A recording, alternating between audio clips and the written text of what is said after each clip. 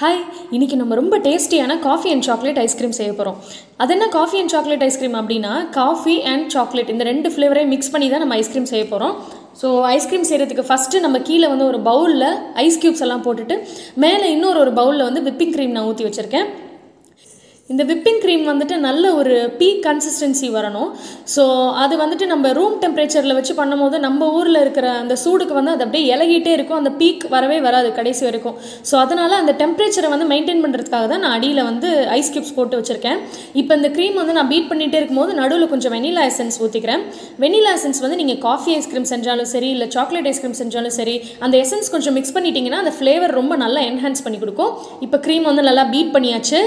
இதை பார்த்துக்கோங்க எவ்வளோ சாஃப்டாக இருக்குது அப்படின்னு சொல்லிட்டு இப்போ இதில் வந்து நான் சுகருக்கு பதிலாக வந்து கண்டென்ஸ்ட் மில்க் யூஸ் பண்ணுறேன் நீங்கள் சுகர் யூஸ் பண்ணுறீங்க கண்டென்ஸ்ட் மில்க் இல்லை அப்படின்னா வந்து சுகரை பவுடர் பண்ணி யூஸ் பண்ணிக்கோங்க. உங்களுக்கு எவ்வளோ இனிப்பு வேணுமோ அவ்வளோ யூஸ் பண்ணிக்கலாம். இப்போ இதில் நான் ஊற்றுறேன் இல்லையா இது என்ன பார்த்தீங்கன்னா காஃபி அண்ட் சாக்லேட் மிக்சர் இது வேறு ஒன்றும் இல்லைங்க. ஒரு மூணு டீஸ்பூன் காஃபி பவுடரு மூணு டீஸ்பூன் சர்க்கரை ஒரு நாலு டேபிள் ஸ்பூன் கொக்கோ பவுடரு இது எல்லாத்தையும் வந்து கொஞ்சம் ஹாட் வாட்டரில் மிக்ஸ் பண்ணி நல்லா பீட் பண்ணி க்ரீம் மாதிரி எடுத்து வச்சுருக்கேன். இதை வந்து நான் இப்போ கொஞ்சம் இதில் மிக்ஸ் பண்ணிக்கிறேன். கொஞ்சம் கொஞ்சமாக மிக்ஸ் பண்ணிக்கோங்க. நீங்கள் இதை ஊற்றி வந்துட்டு நீங்கள் க்ரீம் பீட்டரை வச்சு பீட் பண்ணிங்கன்னா கொஞ்சம் நம்ம ஃபார்ம் பண்ண ஏர்லாம் வந்து கம்மியாயிடும். ஸோ அதனால் நீங்கள் இதுக்கப்புறம் பீட்டர் யூஸ் பண்ணாதீங்க. உங்கள் ஸ்பேச்சுலா வச்சு கொஞ்சம் கொஞ்சமாக மிக்ஸ் பண்ணி விட்டுருங்க. இப்போ எனக்கு வந்து காஃபி அந்த மிக்சர் வந்து இன்னும் கொஞ்சம் பத்தலை. ஸோ வந்து நான் இன்னும் மீதம் இருக்கிற எல்லாத்தையுமே ஊற்ற போகிறேன் எனக்கு வேணால் வந்து சாக்லேட் ஐஸ்கிரீம்னா ரொம்ப பிடிக்கும். ஸோ அந்த லைட்டான அந்த ஒரு பிட்டரி டேஸ்ட் வந்து எனக்கு ரொம்ப பிடிக்கும். இனிப்பை விட அந்த சாக்லேட் ஐஸ்கிரீமில் ஸோ அதனால் வந்து நான் மிச்சம் இருக்கிற அந்த சாக்லேட் க்ரீமையும் வந்துட்டு இதில் உள்ளர மிக்ஸ் பண்ணிக்கிறேன். இந்த ஸ்டேஜில் நீங்கள் மிக்ஸ் பண்ணும்போது உங்களுக்கு இனிப்பு பத்துதா இல்லையான்னு பார்த்துக்கோங்க உங்கள் இனிப்பு பத்தலை அப்படின்னா இன்னும் கொஞ்சம் கண்டென்ஸ் மில்க் யூஸ் பண்ணிக்கலாம். நான் வந்து ஆக்சுவலி ஒரு two fifty ml whipping cream pack எடுத்தேன். அந்த டூ ஃபிஃப்டி எம்எல்க்கு ஆல்மோஸ்ட் நான் வந்து அந்த ஒரு பே டப்பா கண்டென்ஸ்ட் மில்க் ஃபுல்லாகவே யூஸ் பண்ணேன். கண்டென்ஸ்ட் மில்க்லாம் வேற ஒன்றும் இல்லை. த மில்க் மெய்டுன்னு சொல்லிட்டு வந்து நெஸ்லியோட கம்பெனியில் ஒன்று இருக்கும்.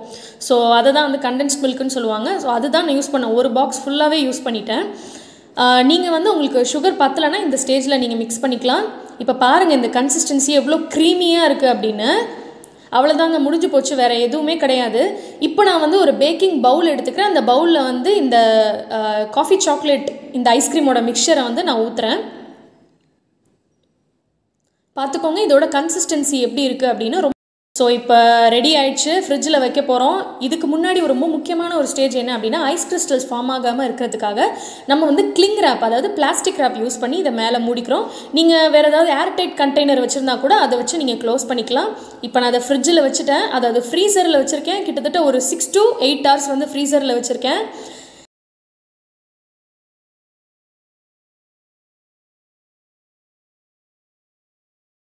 இப்போ இந்த கிளிங் ரேப் ஓப்பன் பண்ணிவிட்டு இதை நம்ம ஸ்கூப் பண்ணி பார்க்கலாம். பாருங்கள் எவ்வளோ க்ரீமியாக வந்திருக்கு அப்படின்னு. செம்மையாக இருக்கும் டேஸ்ட்டு நீங்கள் காஃபி ஐஸ்கிரீம் சாப்பிட்ருப்பீங்களோ இல்லை சாக்லேட் ஐஸ்கிரீம் சாப்பிட்ருப்பீங்களோ எனக்கு தெரியாது. பட் ஆனால் ரெண்டு காம்பினேஷனையும் சேர்த்து சாப்பிட்டீங்கன்னு வச்சுக்கோங்களேன் சும்மா அல்டிமேட்டாக இருக்கும். கண்டிப்பாக ட்ரை பண்ணி பாருங்கள்